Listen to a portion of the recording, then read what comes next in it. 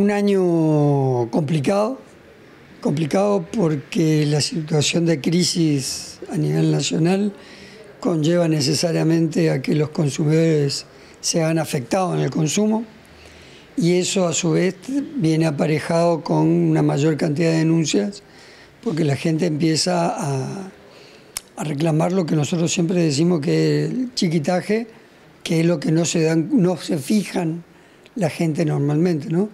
Y a eso agregale el tema de los planes de ahorro, eh, la falta de infraestructuras, que produjo ya no, no una mayor cantidad de demandas, sino actuaciones de oficio que también te dan mucho mayor cantidad de trabajo. ¿no? La telefonía, por ser la que mayor, eh, digamos, usuarios tiene, en Misiones hay un millón trescientos mil habitantes y hay casi un millón de líneas habilitadas de teléfonos celulares.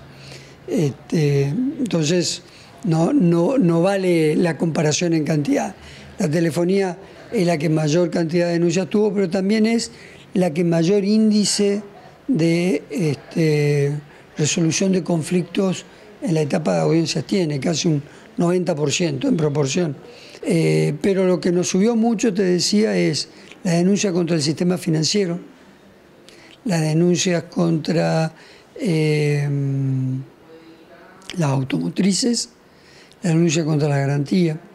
De las cuatro mil y pico de denuncias anuales que entran, eh, resolver el 73% en la etapa de las audiencias, para nosotros es importante.